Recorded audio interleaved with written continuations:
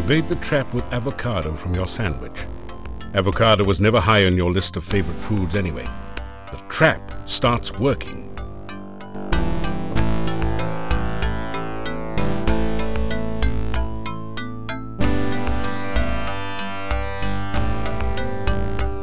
Oh no, you've been Antwerped!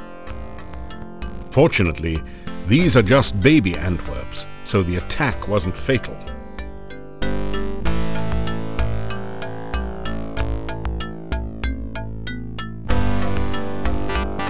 You've caught an Antwerp. It's simply amazing.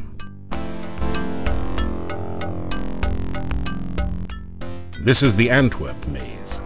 Antwerps are naturally bouncy, so all you have to do is continually rotate the maze until the baby Antwerp bounces over to the key, then out through the exit.